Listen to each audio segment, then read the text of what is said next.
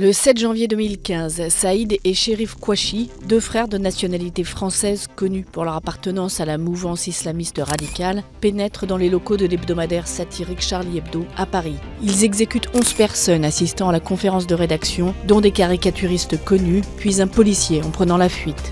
Leur traque dure deux jours. Ils sont finalement tués lors d'un assaut contre une imprimerie où ils se sont retranchés à environ 40 km au nord-est de Paris.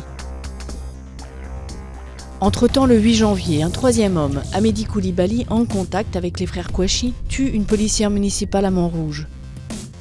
Il prend aussi la fuite et le lendemain tue quatre hommes dans un supermarché juif de l'Est parisien où il se retranche avec des otages. Il meurt dans l'assaut donné par les forces de l'ordre. Les tueurs se revendiquent tour à tour d'Al-Qaïda et du groupe État islamique. Dix mois plus tard, Paris est de nouveau frappé par des attentats djihadistes. Le 13 novembre 2015, des attaques quasi simultanées au Stade de France à Saint-Denis et en plein cœur de la capitale font 130 morts. Elles sont revendiquées par l'État islamique.